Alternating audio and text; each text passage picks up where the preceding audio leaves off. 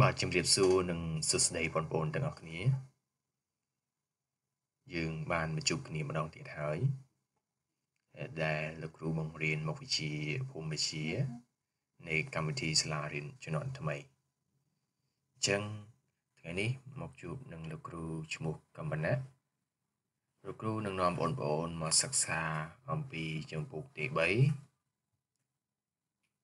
មជ្ឈមណ្ឌលអាកាសធាតុ កំណត់ដំណោះប្រជាជន ហើយយើងនឹងមកសិក្សានៅមេរៀនទី2មនុស្សរៀបចំដែនដីតាមអរិយធម៌របស់ខ្លួនហើយភាគទី1មេរៀននេះផងដែរយើងនឹងរំលឹកឡើងវិញដែលអ្វីដែលបងប្អូនបានរៀនកន្លងមកហើយយើងនឹងត្រៀមការចូលរៀននៅ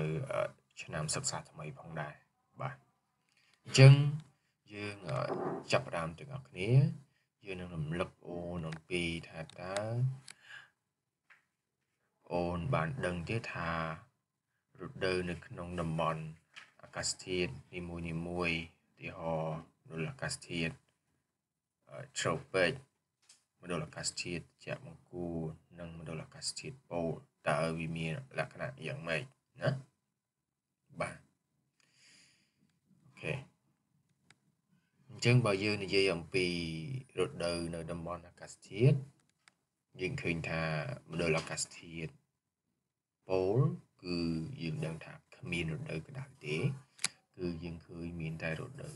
រងាគេហៅថាសិសិរដូវពិបាកទ្រាំណាគឺត្រជាក់ខ្លាំងរហូតដល់ដល់0អង្សាសេទៅណាហើយវាកកនៅទីនោះនៅតំបន់ប៉ូលនោះទាំងប៉ូលខាងជើងនិង ប៉ូលខាងត្បូងបាទមួយទៀតគឺឃើញថាមណ្ឌលអាកាសធាតុត្រជាក់បង្គួរគឺឃើញមានរដូវ4ដែលយើងចាំរដូវ4ហ្នឹងគឺមានសិសិរដូវមាននិតិការរដូវមានវស្សានរដូវមានស្រតៈរដូវណាមានរដូវ4ហ្នឹងឯងអូខេហើយមួយទៀត យើងក៏លេខមកមើលមណ្ឌលអាកាសធាតុ tropic វិញម្ដងណាមណ្ឌលអាកាសធាតុ tropic ដែលចេញពី equator ដែលហៅថារយៈតឹងទី0ទៅរយៈតឹងទី30ហ្នឹងបាទយើងមានរដូវ2ណាដែលបងប្អូនបានដឹងហើយគឺគឺរដូវប្រាំងហើយនិងរដូវ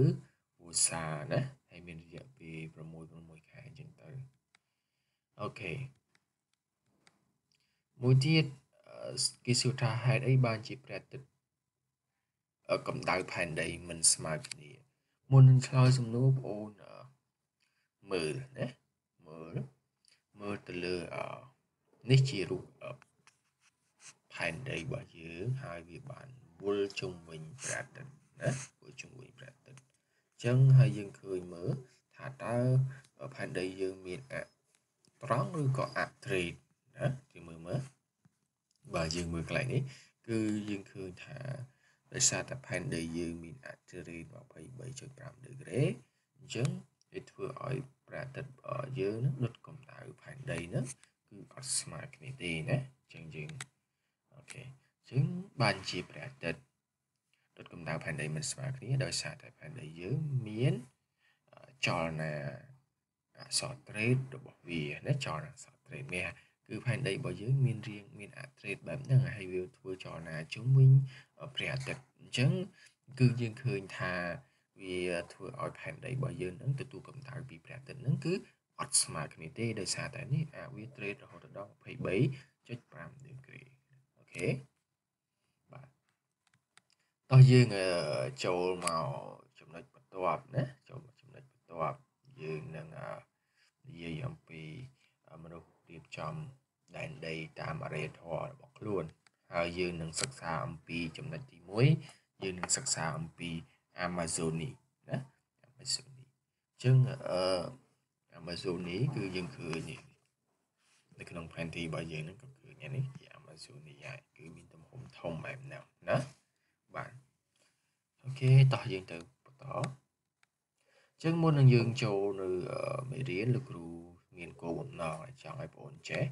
គោលបំណងទី1បងអូនក្រោយពីបងអូនមើលវីដេអូនេះចប់បងអូនរៀបរាប់បានពីការរៀបចំដែនដីនៅតំបន់ Amazonia បានត្រឹមត្រូវ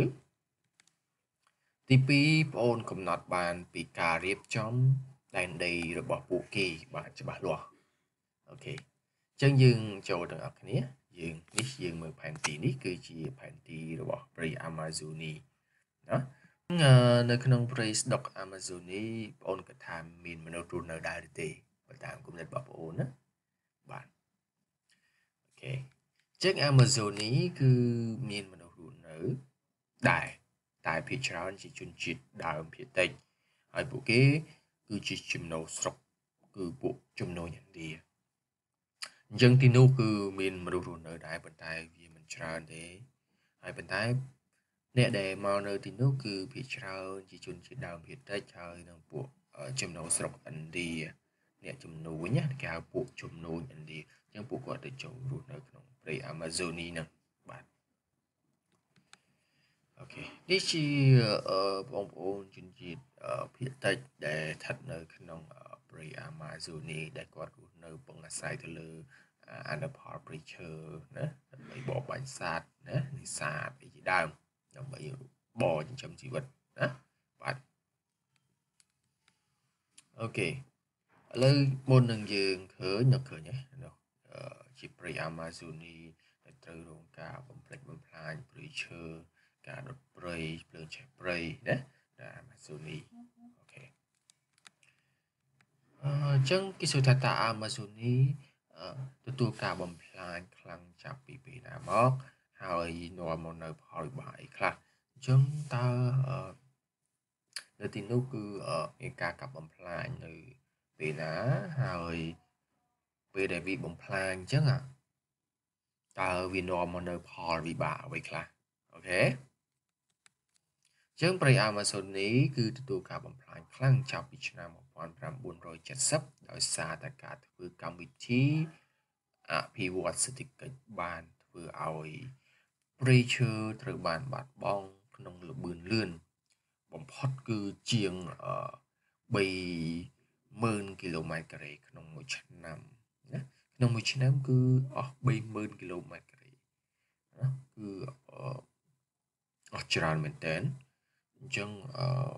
វាពិតជាគួរឲ្យសោកស្ដាយណាបាទ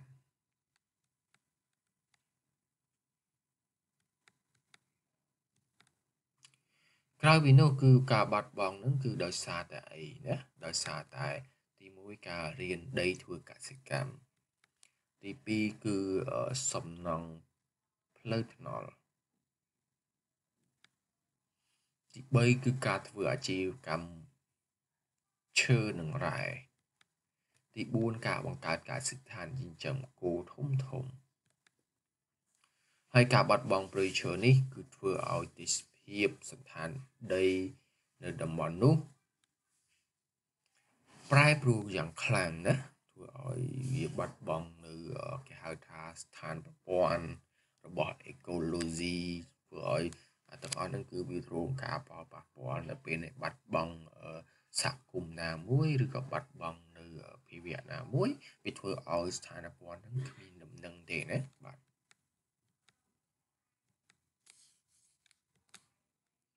អូខេឥឡូវយើងមកមើលរបៀបនៃការរស់នៅណារបៀបនៃការរស់នៅ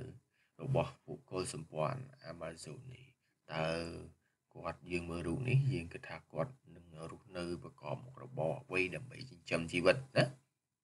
អូខេអញ្ចឹងយើងមើលរូបនេះក៏ដឹងដែរថាគាត់រស់នៅ ដោយធ្វើការបរបាញ់សត្វដើម្បី